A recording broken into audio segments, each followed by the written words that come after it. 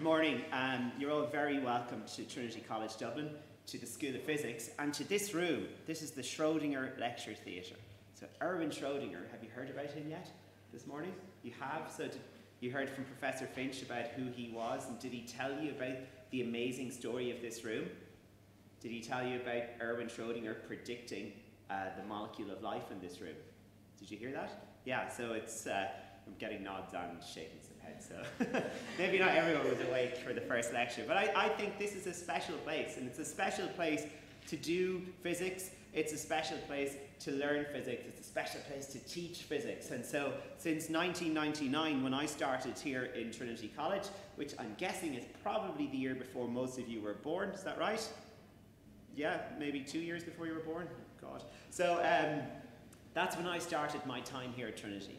And I started uh, here as an undergraduate student in uh, the physics and chemistry of advanced materials. It's now called, has nanoscience as part of the, uh, the branding now. Because when I was a student, nanoscience was still very, very much in its infancy. So um, I was lucky enough then to pursue a PhD. That's a, a, second degree, it's a research degree. And I did that with uh, Professor Jonathan Coleman here at the School of Physics in Trinity College. And after that, I went to London for a few years and I worked as a research scientist over in Imperial College London, right next to the, the History Museum, the Natural History Museum. And I came back then four years ago to start a lectureship here at Trinity. And so, one of the things that I really enjoy doing in uh, my, my, my job is I like teaching physics, and I like teaching physics with props and with pieces of experimental apparatus because physics is an experimental science. So, what does that mean? So, if you think about what is science, right? So, if I were to ask you, what do you think science is, right? If you think about the process of science, right? What would you think it is? Can I ask somebody here to give me a suggestion? What do you think science is? Like, like I'm not looking for a definition or anything like that, just uh, kind of what, what things come to your head. What do you think? Figure stuff out, exactly. So that, that's really important. So we want to know the world. And that's for all of the sciences, right? And physics is looking perhaps at uh, one particular element of, of the world. So how do we figure things out in science? What do you guys think over here? Somebody have, what do you think? Sorry? How do we figure things out in science? Trial and error. Trial and error, yeah, okay, so we do things Experiment. Great, you've said the magic word, perhaps prompted by your friend sitting next to you. But do you know what? Sometimes when I ask undergraduate students that question, they don't use that magic word. Experiment is the key to physics. It's what makes us different to just saying, sure, I have a theory about that. Sure, the Earth's flat because I, you know, I can't see the horizon bending over, so, like, there you go. I have proof. Or I can predict the way the summer's weather is going to go by the movement of some weird bird in a bush, according to a postman in Donegal. And you go, well, that's fine, but that's a belief. That's not science. Science is something that's based on experiment. So we observe the world, we then make a hypothesis about what's going on, then we do tests, trial and error, we do experiments, and then what do we do? After we've done the experiment, what happens next? So somebody up, up in this section here. What do you think? What comes after the experiments? Uh, well, hopefully, if you're, if you're very lucky. So, but once you've done the experiment, what do you have to do before you, you, you publish it? Yeah, but how, like you're, you're making an assumption here that the experiment has gone well, right? How do you know if the experiment is, is right or not? Analysis, yeah. What does somebody here say? Results, what does that mean?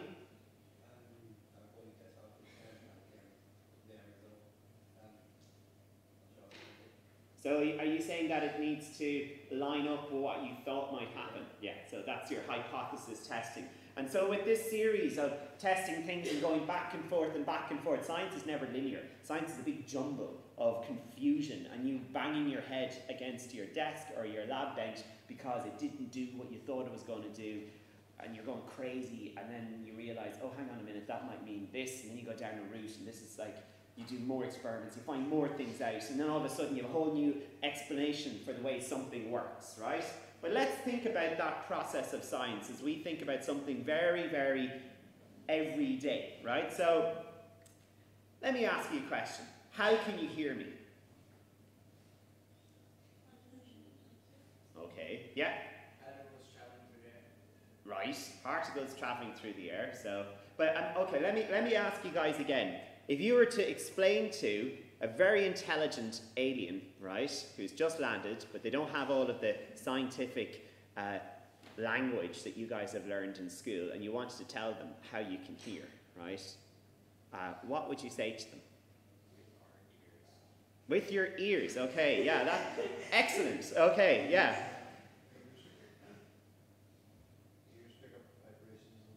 No, about remove the, the, the, the science language, right? How do you hear, right? So, anyone else have another comment? So, with your ears, it's very, very good, right? Because it's extremely obvious, right? You hear with your ears. But let me ask you maybe a more fundamental question. What am I doing to allow you to hear something? I'm speaking, yeah, okay. So I'm making noise or sound, right? And so, like, you did correctly identify, many of you, how that sound moves out into the air. So, sound, right? Think about what's this? Tuning fork, yeah. So, um, let's, let's just, we all know what to do with it, right? So, let's just have a go with it. I'll move it back up, don't worry.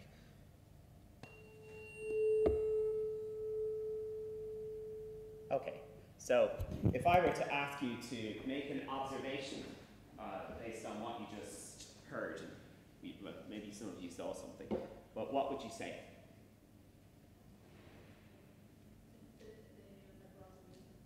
Could you see them move? Oh, how do you know that then? So they're making noise. You're making an assumption that they're moving to do that, are you? Okay, so well, what did you observe? So, it, as a, in as a scientist, right? If I were your your your supervisor, I'd be like, I have no evidence that they're moving from like from what you said. You know from intuition that they move, right? But make an observation, right? Yeah. Pardon? Okay, so I hit this off my elbow, so I caused it, I gave it some sort of movement, right? And then it vibrated, so it moves back and forth. What causes the sound? No, wave describes the sound. What causes the sound? Vi- vibration of what? Particles. What, what are particles? it's gone crazy now. when you come to first year, if you give me definitions that I hear from Leaving Cert, I take away marks. Um, so what, what are what's causing the vibration? The metal, yeah. And what causes the sound? The vibration of? The metal, no. The air, yeah. So the, the space between the tuning fork prongs moves in and out, right?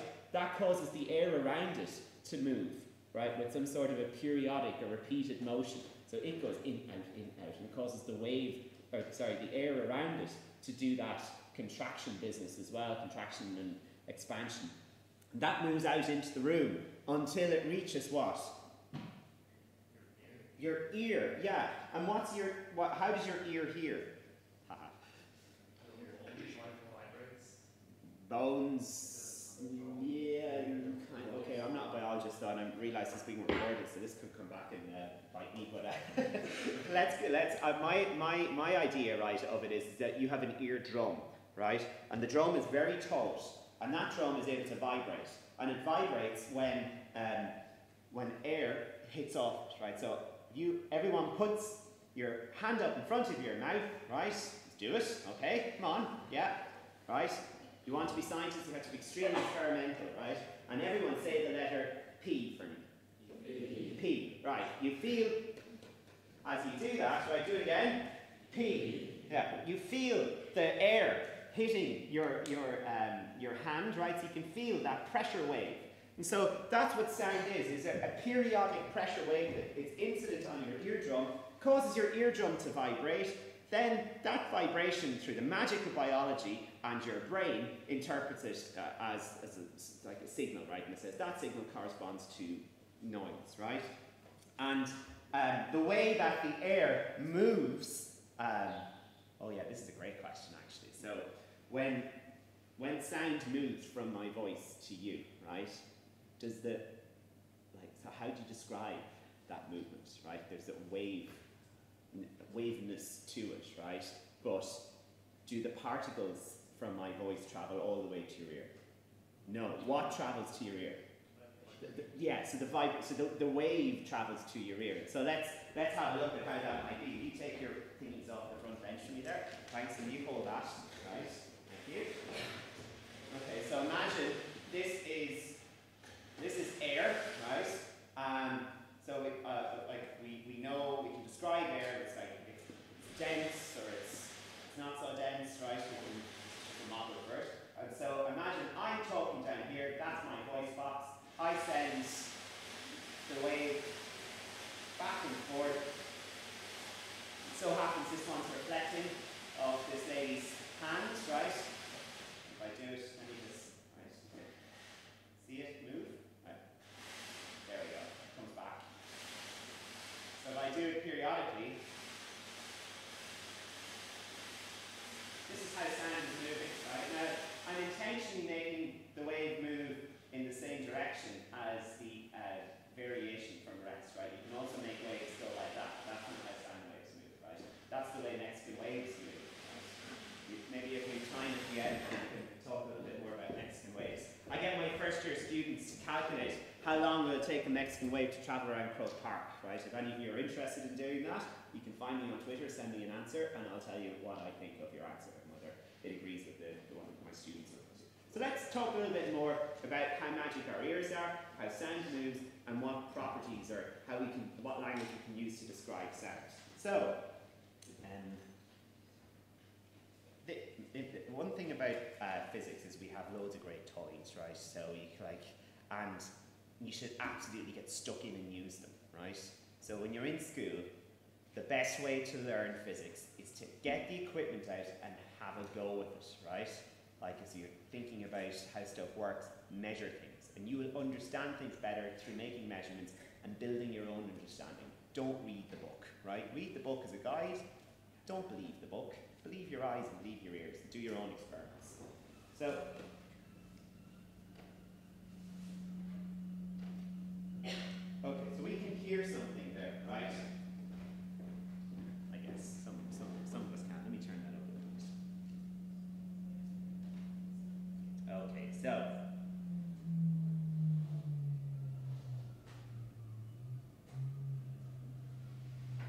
Okay, so. Right, what have we got here? So, make an observation. What can you, what can you observe?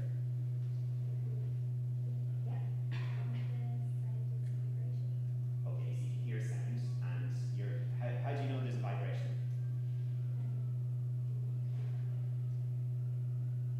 Okay, so you hear some sort of periodicity to it, right? So I, I have a device here that's able, you can actually get them on your phone. It's called a, just a frequency generator. You know, have an app, it's free, right? You can just make any note you want. How do you describe that note or that sound? Low, yeah. Constant. Pardon? There's a bit of a buzz to it. There is, yeah. That's probably something to do with the speaker, yeah. Is it clean? Okay. Um, so this thing here is, is it's, it's called a function generator. So it's making that sound, right? I won't get into the details of how it does that, but it's making a sound, right? Um, a particular sound, a particular note. It's kind of, would you say that's a high or low note? Lowish, okay. So it's moving, it's telling the speaker to make the note, so it's telling the speaker to move 123 times every second, right? So the speaker here, right, I can actually put my finger on it, right? The speaker moves in and out and in and out. It moves in and out 123 times every second. That causes a wave of sound to reach your ears, that causes your eardrum to move 123 times every second. And so we interpret that as a low note. The amount of movement that the eardrum goes through is uh, related to how loud it is. So I have a device in front of it called a microphone, right? So you can see there I'm tapping the microphone, it's just a little handheld mic. It's up in front of the speaker. And because I'm a physicist and I want to understand a little bit about the nature of that sound that's coming out, I put the microphone into this device, which is called an oscilloscope. So I'm able to look at how the signal that the microphone is receiving changes with time, right? So time is on the flat axis, or the x-axis here, and the signal for the microphone is on this axis, on the, the up, down, or y-axis. So let me just make this a little bit more stable.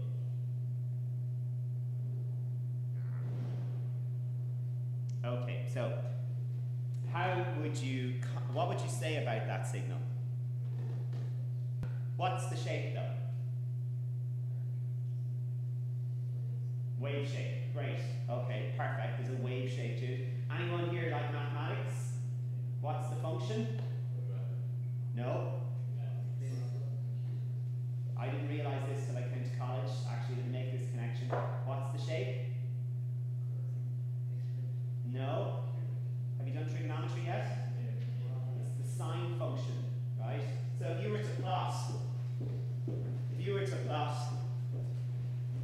flip, no chalk, but we do. To, you can even, days you can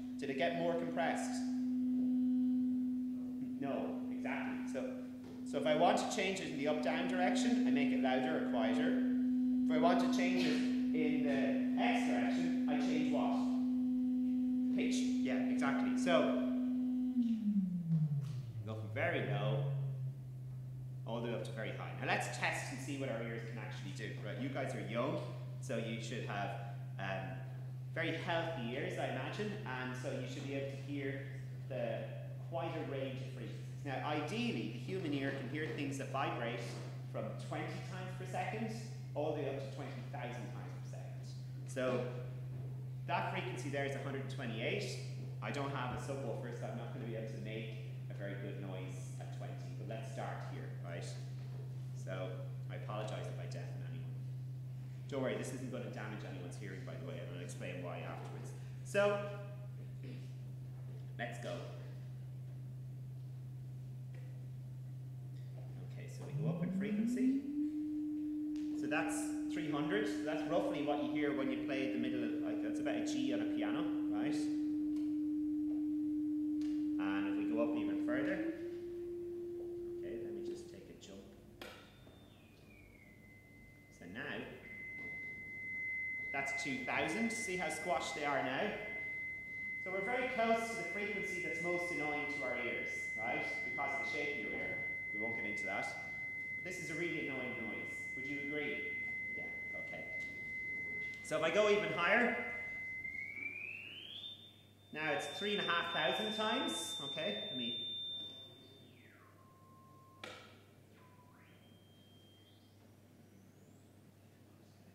Okay, can everyone still hear that? Okay, so everyone puts one hand in the air, and I just say, right, when you can't hear it anymore, take your hand down. Now just remember, when you take your hand down, you might not be the only person, you might be the only person in the room that can't hear it anymore. So just, shh, we want to see if you can hear the highest uh, frequency, right? I realise this is experimentally sensitive. Those of you sitting right in front of the speaker, you're at, a, you're, you're at an advantage compared to those over there, right? Okie dokie. So that's 10,000 hertz. So the speaker is now moving 10,000 times per second. It's moving so fast that I can't, I can't really figure that out from, I can't feel that. Let's go higher and higher and higher. It's a lovely noise. So, right. I can't hear that anymore. Anyone, can you all, can you hear that? Okay. Can you hear that? I just pumped up the volume big time there. So um, that's 15,000 times per second. You can all hear that.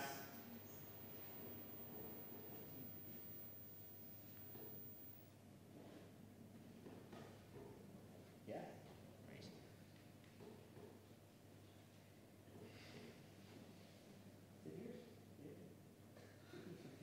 Right.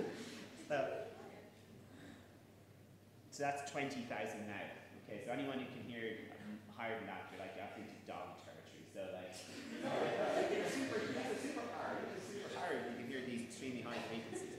So you can see, you, you can see on the screen, it is still playing. It's extremely high uh, frequencies. It's very, very squashed. The reason you actually is is your ears are not very sensitive, uh, loudness-wise, to, to those high frequencies. So let me just prove that it's still going by turning the frequency down. Can also hear that. Amazing. Okay.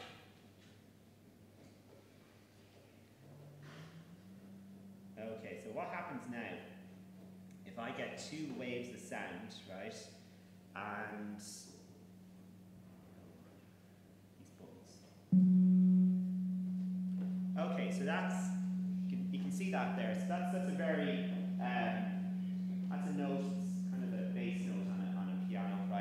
what happens when I put on two sources of sound, right? So one is 184.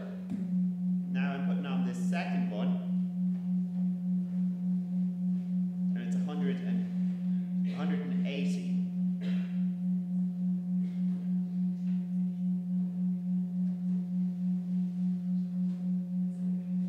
So one is playing one note, and the other is playing a slightly different note. They're very similar. Hear?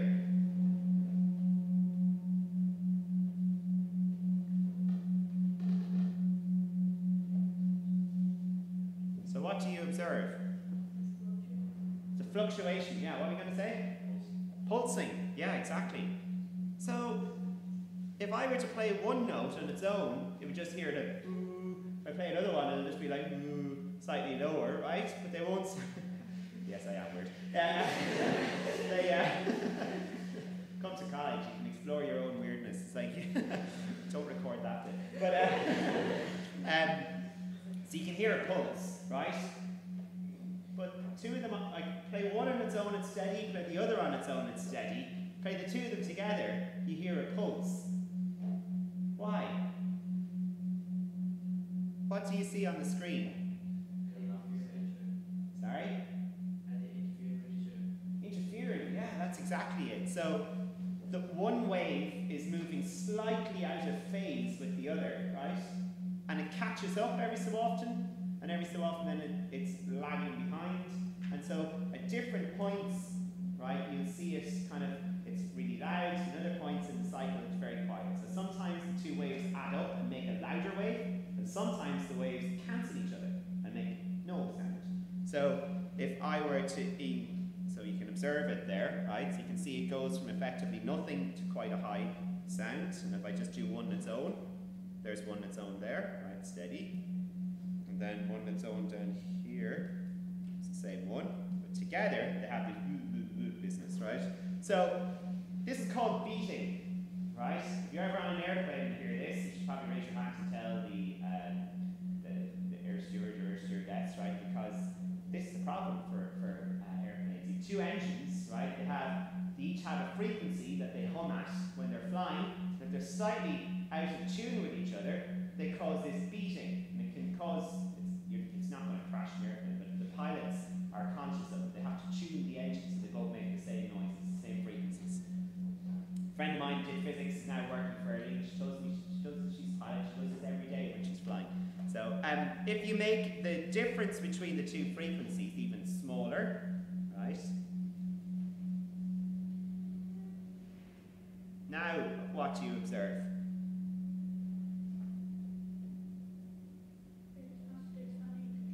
Yeah, but compared to the old one, it takes more time. So the beat frequency is smaller, right? So if I make the difference bigger, you can actually see the two waves now. They're hardly interfering anymore.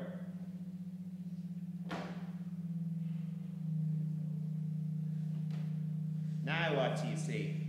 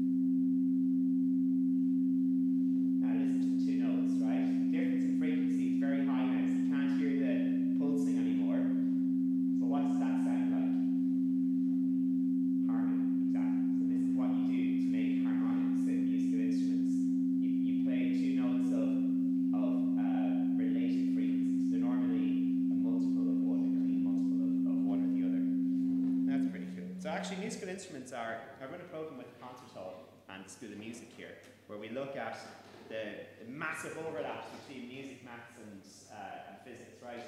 Loads of people who work here in the School of Physics are, are um, who are students here are, are big into music as well, right? Because I think it's something to do with symmetry, right?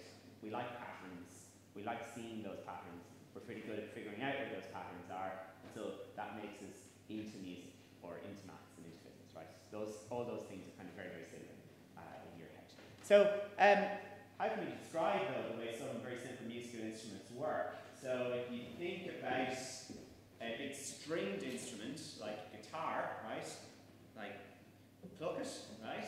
And depending on the, the setup, which I brought up the ukulele, um, depending on where you pluck it, you'll get like different notes, right? And so, how if you have a and who plays the guitar here?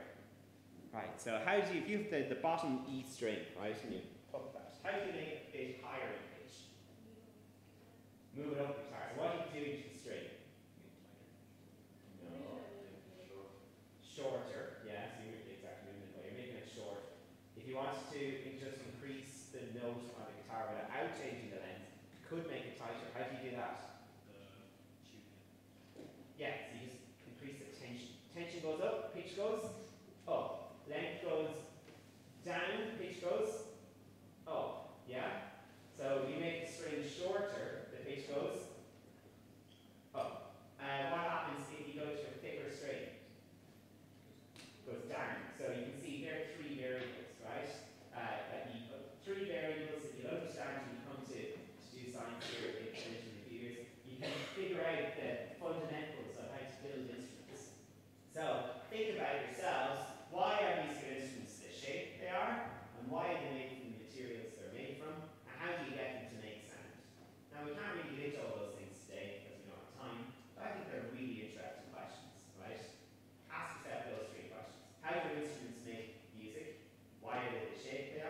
why are they made from certain materials, right? What does that mean then for those instruments? Why is a clarinet different to an oboe, different to a flute, different to a bass, different to a drum, different to a piano? What gives them other personalities?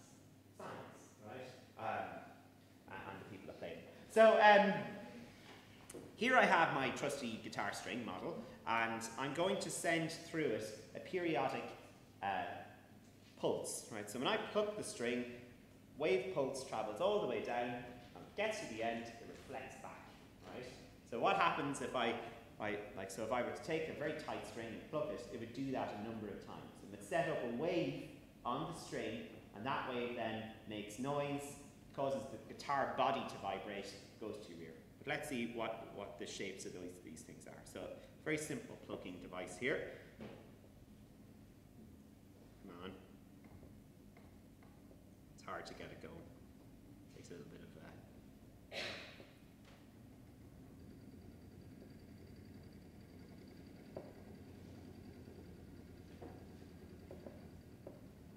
Okay, you'll see now, right?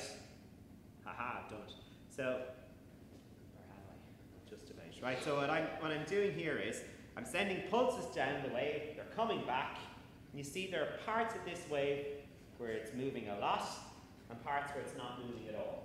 So I get these patterns, right? Depending on, on how frequently I pluck the string, right, I can, I can get different patterns. So you can see clearly there in the center, right, there's no movement, right?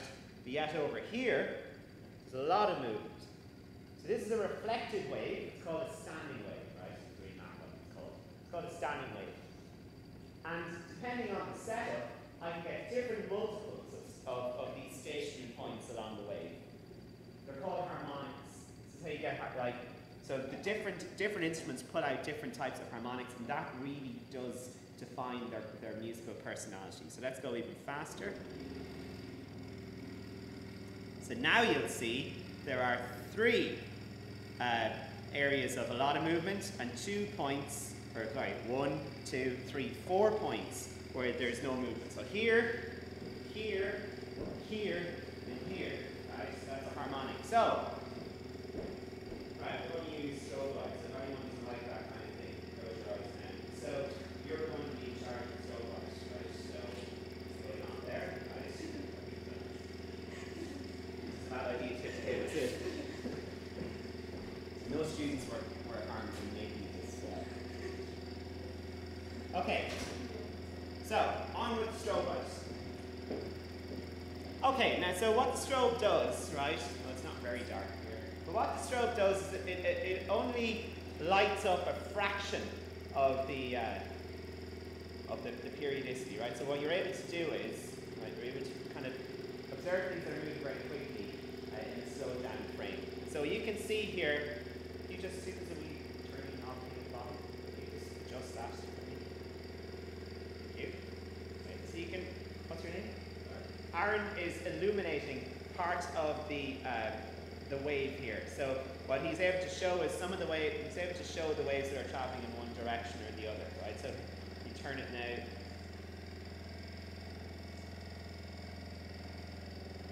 He's able to light up parts of that standing wave. So Armin, you pointed out a, a, further little down, further further down the wave. So you see here, there's not much movement at all, right? It's called a node. Now back down here. You see this? Oh, this thing has a mind of its So see there are certain points where it's moving a lot, and they're antinodes. Okay, Aaron, I, I'm getting half blinded here, so you can switch that off. Thank you. I'll leave it on for a second.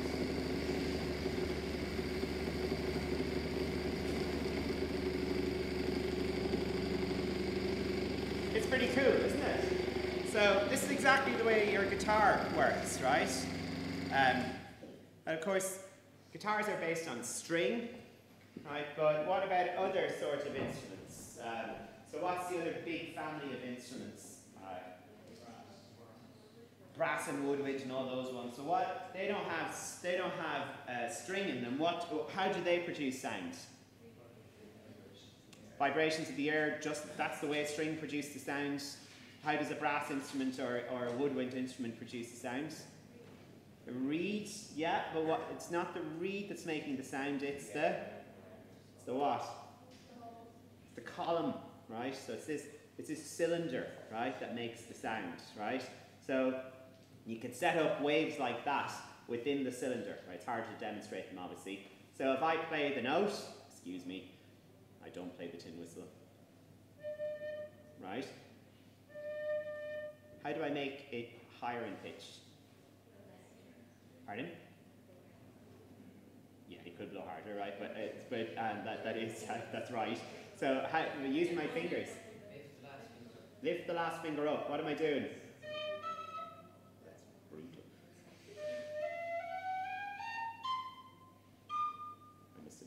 Uh, so what am I doing?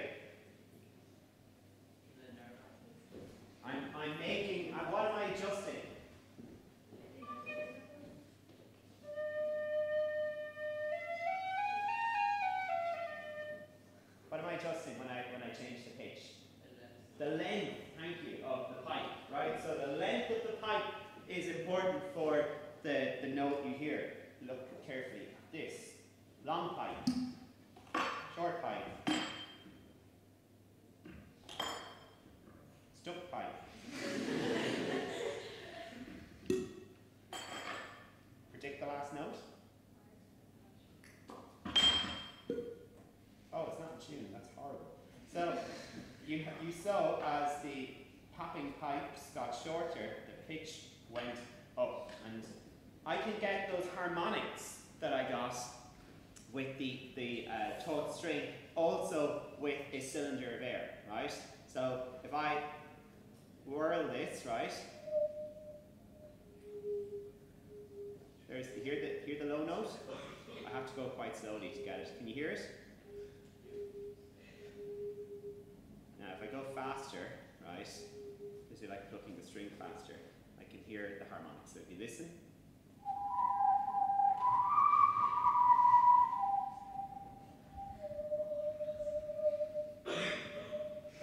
actually, there's a video of that last lecture doing something like this.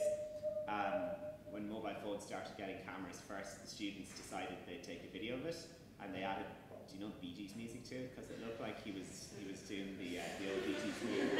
So, uh, yeah, uh, it's it's a YouTube sensation. So um, before I finish, I want to uh, I want to show you one more thing. Oh yeah, so two more things. So in in a in an organ uh, or like this look at this device here, right?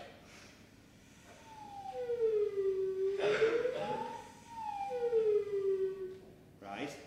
Now worried that thousands of physicists have like wrapped their lips around the top of that, like God knows what I'm going to contract from it, but I, I was trying to demonstrate to you that again by varying the length of the column, I'm able to change the pitch, right? And so when you see a church organ, right, which is basically tons of these things, right, made from wood, made from metal, made from I don't know what else they're made from.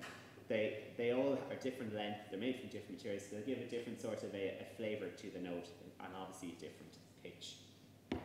So um, if you come to college here in a few years, I think um, that you'd be making a great decision to choose a, um, a degree in physics or in science or in nanomaterials or even theoretical physics, right? Um, there, the great thing about coming to college to do these things is you get to learn by doing experiments and by having ideas and having notions and you build your own understanding, right?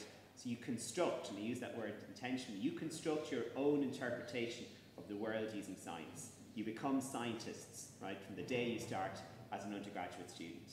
And so the skill you have is your ability to do experiments, to get that data, to interpret it in terms of what your, your hypothesis was at the start, and for you to, to, to build on that and construct a model of the world, right?